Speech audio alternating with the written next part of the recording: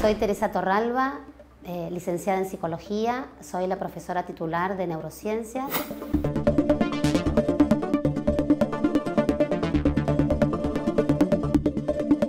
La materia de neurociencias consiste en eh, una formación que intenta que el alumno conozca la neuroanatomía, la neurofisiología del cerebro,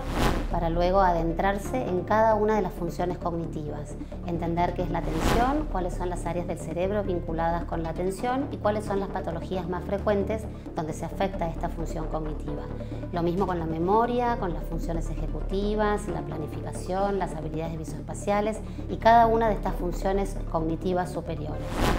Ya llegando más a fin de año, el objetivo de la materia es que los alumnos sean capaces de identificar perfiles cognitivos específicos que se relacionan con cada una de las patologías.